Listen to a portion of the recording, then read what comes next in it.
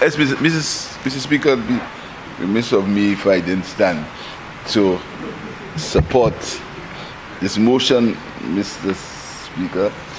I do not am um, not going to give a,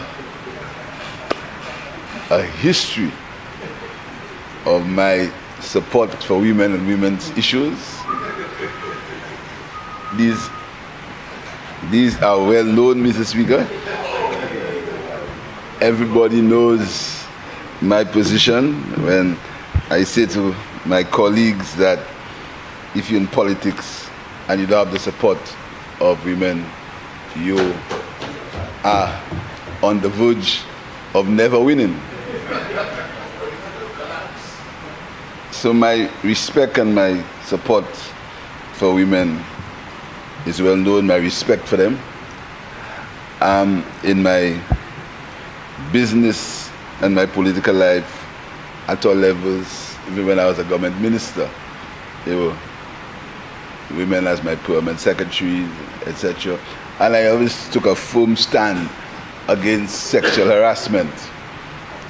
That as I've always said, that people have their choices, and whereas um, you can't be a moral police, you must ensure that in a workplace it's free from sexual harassment. I've been very firm on that, Mr. Speaker, and I continue to maintain that sexual harassment is an offense.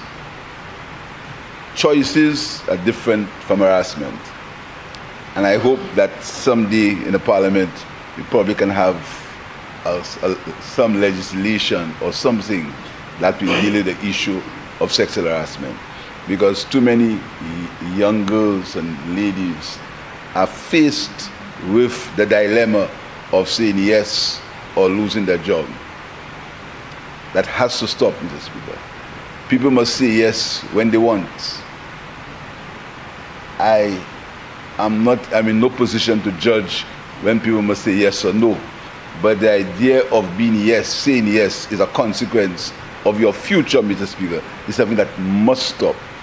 And I hope that whereas we do not pretend to be too prudish, as some of us in, pretend to be, Mr. Speaker, we must take a strong position on sexual harassment, a very strong position, Mr. Speaker. So I want to congratulate the President of the Senate, who is, has been pushing this motion.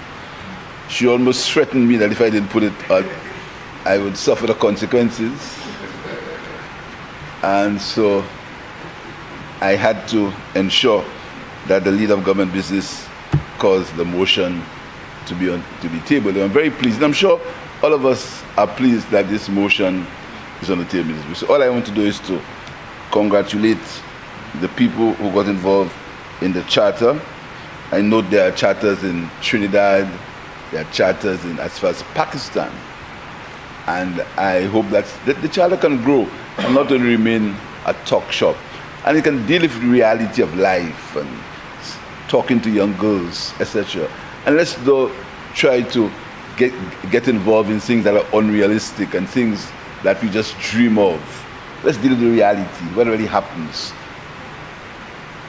with young girls and young women to help them to advance themselves, the value of education, self-worth, the value of themselves, how important they are to the, to, to, to the human race, and not anything, things that are not really practical or real, Mr. Speaker. So I want to congratulate you, and you can call, you can expect the full support of the government and the full support of the Prime Minister.